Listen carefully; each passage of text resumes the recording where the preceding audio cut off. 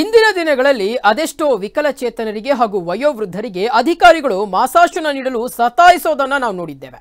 ಆದರೆ ಇಲ್ಲೊಂದು ಜಿಲ್ಲೆಯಲ್ಲಿ ವಯಸ್ಸು ಆಗದೇ ಇದ್ರು, ವಿಕಲಚೇತನ ಅಲ್ಲದೇ ಇದ್ರು ಇಡೀ ಕುಟುಂಬಕ್ಕೆ ಮಾಶಾಸನ ಕೊಡಿಸ್ತಾರೆ.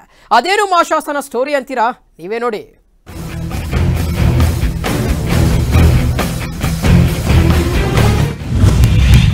ದಿವ್ಯಾಂಗ ವೃದ್ಧಾಪ್ಯ ಅಲ್ಲದವರಿಗೂ ಸಿಗುತ್ತೆ ಮಾಸಾಶನ. ಫೈವ್ ರಿಯಾಲಿಟಿ ಚೆಕ್ ವೇಳೆ ಅಧಿಕಾರಿಗಳ ಅಕ್ರಮ ಬಯಲು.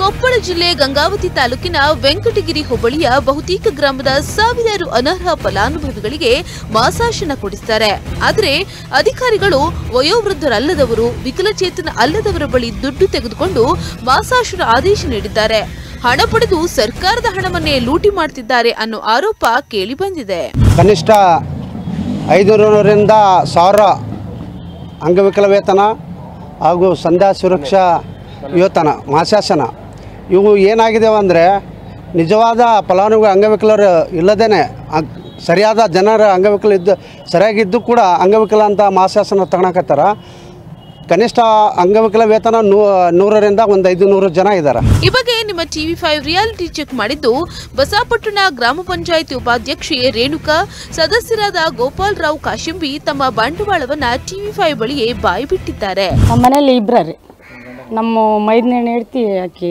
ಗಂಡ ಮನೆ ಪಗಾರ ರೀ ಅವ್ರದ್ದು ಒಬ್ರು ನಮ್ಮದು ಮುದಿಯರ್ ಪಗಾರ.